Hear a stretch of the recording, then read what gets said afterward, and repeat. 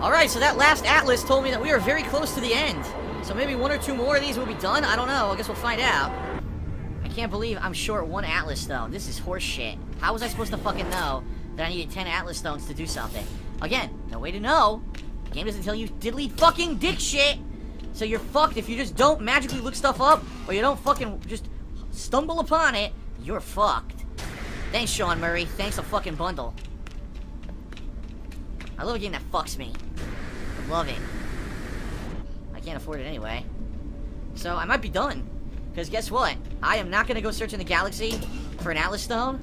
And, uh... Yeah. I'm fucked. I don't think there's another one that I can get another Atlas Stone at. I think I'm done. I think if I leave, right, it didn't... I don't think it's going to give me on the map to another, uh, another Atlas Stone.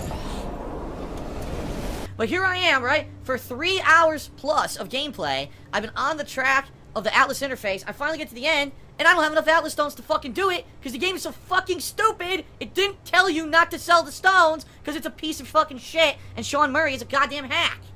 What the fuck?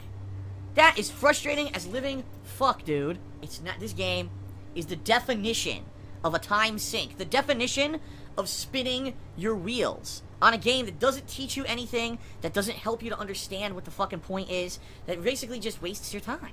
Sean, look at your game, Sean. Look what you did. $60, look what you did. Here it is. Here it is, I'll show you what you did, Sean.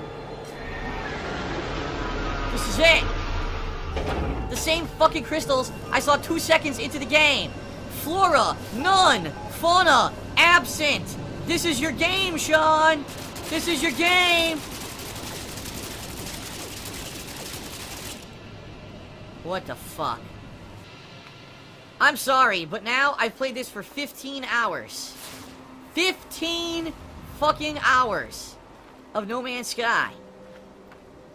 I really tried, ladies and gentlemen, to like it. I tried my... I don't think anyone could accuse me of not giving it a fair shake. I played it for over a week 15 hours of gameplay, and there is absolutely nothing that I've done in this game that was worth my fucking $60 or my 15 hours. It's just that simple. Nothing. Absolutely nothing. Textbook case of something that's awesome on paper is insanely poorly executed. You should have given the idea of this procedural generation, right? The idea. Should have given the idea to someone who had a better execution. Someone who could have taken it and put it into a game that could have been fun. But I can tell you right now what happened. The guy's a bookworm. The guy's a nerd, right? He doesn't have any real-world application with mainstream people, mainstream gamers. He just thinks that this game that's so mathematic and scientific is going to blow your mind. It doesn't. It's the most underwhelming game I've played in quite some fucking time, and it's a shame. Because all the years we heard about it, all the information we got about it was like, this could be good if it's put into the hands of the right person. Sadly, it was not. The game developer didn't know what the fuck he was doing. And now we've got this boring, empty piece of crap. That's it! I'm done. I am not playing any more No Man's Sky. It's official.